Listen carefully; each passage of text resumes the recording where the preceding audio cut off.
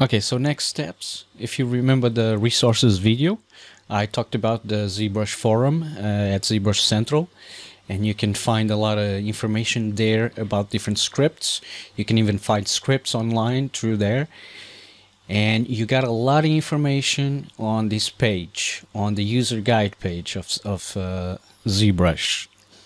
If you navigate to this to customizing ZBrush and you go to Z scripting, there's a lot of stuff here that you can learn further from this course. You have sample scripts as well. You have something called file utils, and this will expand what you can do with ZScript. As you can see, there's a lot of things you can do with the files. You can delete folders, copy files inside of your application. You can even rename a subtool, as you can see here, in a different way that I taught you.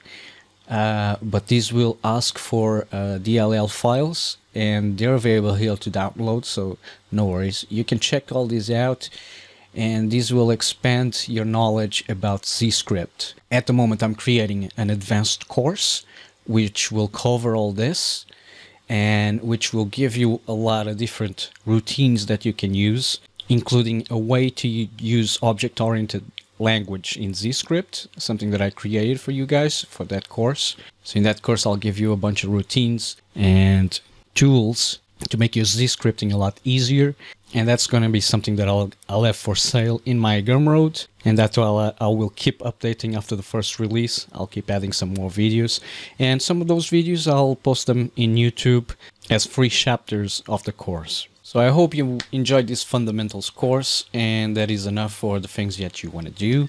If not, you can carry on by yourself by checking the user manual or, or the ZBrush ZScript forum, or you can wait for my advanced course that will be available on Gumroad and should be available in a few weeks time.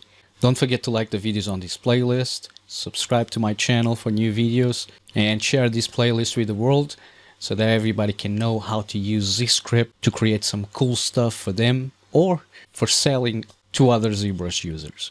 And I'll see you in the next video.